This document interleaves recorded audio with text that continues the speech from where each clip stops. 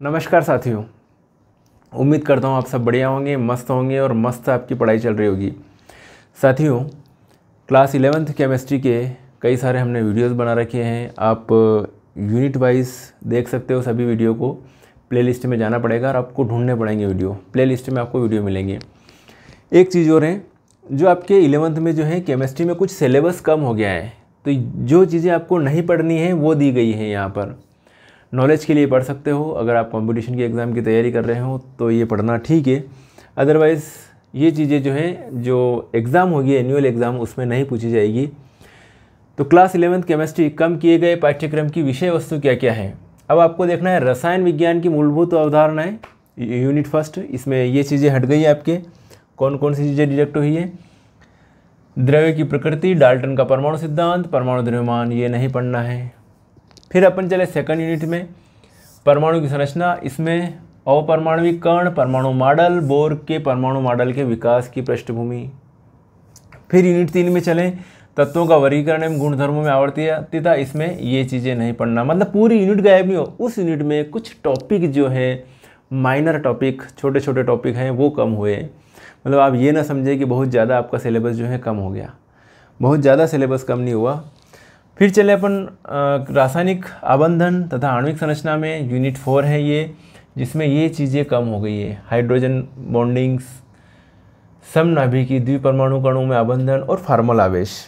Chapter five में या unit five में आपकी ये चीज़ें कम हुई है। अंतराणविक बल, गतिज ऊर्जा है मणुक गति और आदर्श गैस विचलन।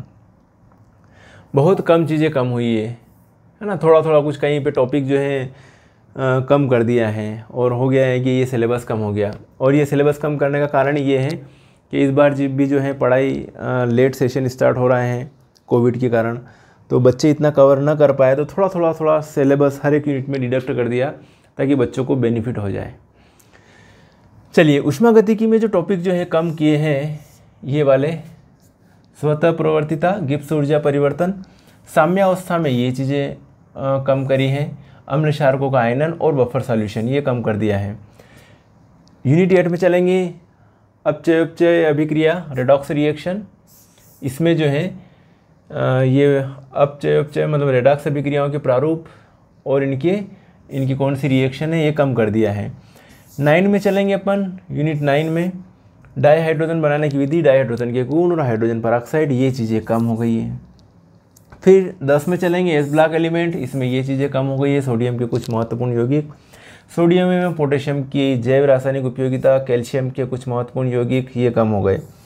पी ब्लॉक के तत्व जो हैं, इसमें ये चीज़ें सारी कम हो गई हैं। तो ऐसे करके आपको जो है पीडीएफ मिल जाएगी अपने अपने लेवल पर। तो ये जो पीडीएफ है पीडीएफ से मैंने जो आपको इन्फॉर्मेशन दे रहा हूँ कि ये चीज़ें आपकी कम हो गई है, थोड़ा बहुत सिलेबस कम हो गया। जैसे ऑर्गेनिक केमिस्ट्री में चलेंगे तो ऑर्गेनिक केमिस्ट्री में ये चीज़ें कम हो गई। कार्बनिक यौगिकों की शोधन की विधियाँ कार्बनिक यौगिकों का गुणात्मक विश्लेषण, मात्रात्मक विश्लेषण।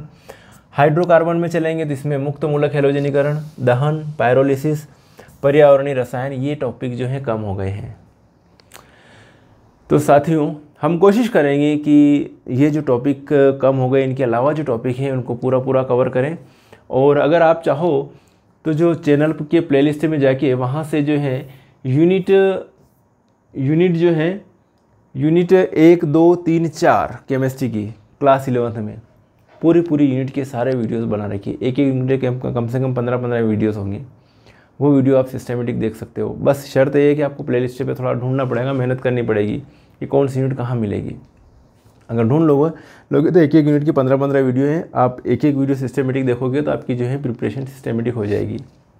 ओके साथियों तो ये जो वीडियो का पर्पज़ इतना सा था कि आप जो है जो आपका जो सिलेबस है, नया सिलेबस आ गया है, उसमें क्या क्या चीज़ें जो हैं, वो जो आपका सिलेबस है, उसमें क्या क्या चीज़ें डिडक्ट हुई है, उन चीज़ों का आप ध्यान रखें और सिस्टमेटिक तरीके से अपनी प्रिपरेशन जारी करें। इस बार शायद ईश्वर की कृपा रही तो कोविड नाइन्टीन के कारण आप परीक्षाएँ, इससे गीत नहीं होगी, परीक्षाएँ होगी और परीक्षाएँ होना भी चाहिए। इसलिए होना चाहिए कि जो अगर परीक्षा नहीं होगी तो एनालिसिस कैसे किया जाएगा स्टूडेंट्स का?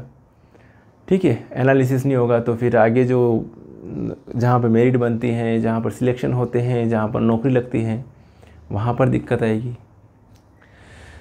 तो ठीक है साथियों, मिलेंगे फिर नेक्स्ट वीडियो में और प्रिपरेशन अपनी जारी रखिए और बाकी जो वीडियोस हैं वो आप प्ले लिस्ट में देखते रहिए और आपके लिए कंटिन्यू हम जो है वीडियो जो यूनिट छूट गई हैं, उनकी आपको वीडियो अवेलेबल करवाते रहेंगे। ठीक है? Okay thank you